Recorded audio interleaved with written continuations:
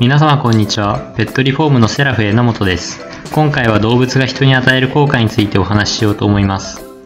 動物との暮らしは日々人に癒しを与えてくれます。そんな癒しの効果が医学的にも様々な効果があるとご存知でしょうか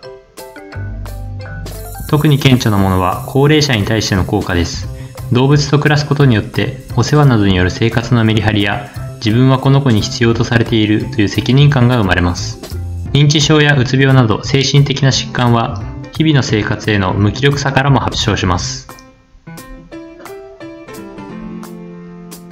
犬を飼っている高齢者は飼っていない高齢者と比べ年間の通院回数が減っているということがアメリカの調査で明らかになっています。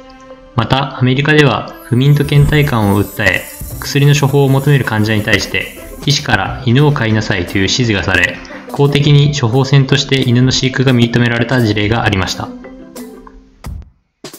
暮らしを彩り、心身を支えてくれている動物たちと一緒に、いつまでも健康で楽しく暮らしたいですよね。セラフ榎本では、大切な動物たちも人も、快適に長く暮らせる住居のリフォームの提案をさせていただきます。ペットリフォームのご相談、お見積もりはセラフ榎本にご用命いただきますよう何卒よろしくお願い申し上げます。最後までお読みいただきありがとうございました。